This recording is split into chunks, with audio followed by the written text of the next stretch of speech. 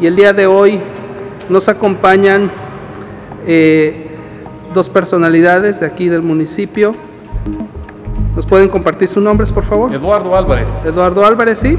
José David Figueroa Cruz. Los dos eh, tienen algunos datos de esta parroquia de Santiago Apóstol, que es la más representativa del municipio de Huitzuco. Algunos datos curiosos que puedan compartirnos, porque cada iglesia, cada parroquia en los municipios tienen sus mitos, leyendas y algunas cosas que sí son históricamente comprobables. ¿Qué nos puedes compartir, Eduardo? Pues claro, esta- este templo parroquial Sí. eh, fue construido allá por 1757, como dice en la piedra que está a la entrada del templo al lado derecho, Sí, eh, por el padre, eh, parece que fue franciscano, fue de la orden franciscana, Juan Antonio González de la Zarza, y él, pues con la ayuda de los lugareños, de los naturales de Huizuco, Sí. pues va construyendo poco a poco este templo, no sabemos en cuántos años, pero ha de haber tardado algunos añitos. claro. Y pues David, yo recuerdo que aquí había una, una tapa. Se dice que creo que esta tapa llevaba hasta el panteón en una salida. Se cree que la ocuparon en el inicio de la revolución, que era un túnel Sí. que colindaba o se salía para diferentes lados, que según llegaba al Cerro del Venado, al cerro de este de otro lado, de la mina, y de este lado para la cruz. Era como un escape, una salida. Era un escape con una salida y cuando fue la revolución del, del inicio del sur, aquí se metieron y cuando llegaron no encontraron nada y pues resulta que le llegaron por la parte de afuera. Ya. Hablando de, de esta imagen, David, que eh, pues al parecer tu familia o tú son los mayordomos, ¿no? Los encargados de esta imagen.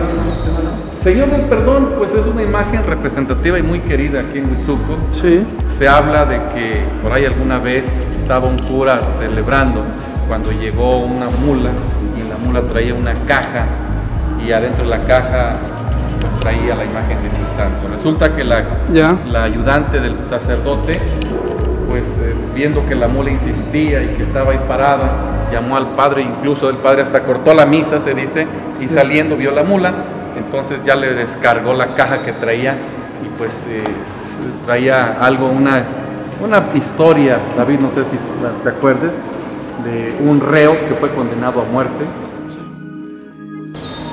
Sí, es un reo llamado Pablo Martínez Arciniega. Él era un este era un bandolero, en aquel entonces él era, un era escultor, pero era como se le acabó el trabajo ahí en Tasco, él este, hizo sí, algo representativo a eso, ya que él estaba condenado a la muerte porque estaba inculcado en la muerte de, de un señor de Tasco. sí, Y él, pues, en el Estado de México, cuando era la cárcel, pidió esta madera propia para tallar. Torón. No, no es toronja. Ahorita cuando se le dio su restauración, digamos que es de cedro rojo. ya, ¿Por qué? Porque el cedro rojo es amargo, para la termita no se lo come. ya, Entonces, si fuera toronjo, fuera lo que otro que dice, Ya se hubiera picado. ya se hubiera picado, se hubiera carcomido. sí, Y apenas se dio la restauración, porque tenía muchas grietas, estamos diciendo que en el año de 1697, mil- sí, 1697 Sí. fue eh, llegada aquí a Huitzuco, es el dato que tiene la, la parroquia. muy bien, Entonces, de ahí a este preso, que, la, bueno, que el padre descubrió la caja, preguntó que para dónde era, eh, pues ahí dicen nuestros antepasados que iba para, según para Tlaxmalac. El señor de Tlaxmalac eh, pues era un mercader, era un arriero, y como rentaba animales mulares aquí, en la parte de, de aquí atrás, un lado costado del lado, del lado izquierdo de la parroquia sí, a un señor y este le prestó las mulas y una de las mulas la cargaba pues la, la caja. Ya. Dato curioso es de que la mula no se ponía a la casa del, del patrón, ¿no? del amo, sino que se vino a, a lo que era el jardín de niños más que nada, sí, que fue la, la sacristía, ahora la hora del curato parroquial, y ya de ahí pues encontraron la caja y ya se puso a preguntar el, el sacerdote y pues dieron voces y dijo, no, pues es para ellos, ¿no? Entonces es para allá. Dato curioso que nos dicen también de que pues iban aquí, lo que decimos el vado, antes de llegar al panteón, y que la imagen pues los lugareños de la comunidad de Tlaxmalar pues, no lo podían seguir cargando porque se les ponía pesado sí, o se les aflojaba, como nomás se aprieta con dos cuñas, Ya. que se les aflojaba, o era muy pesado. muy bien, Entonces pues decidieron que se quedara acá. Así es.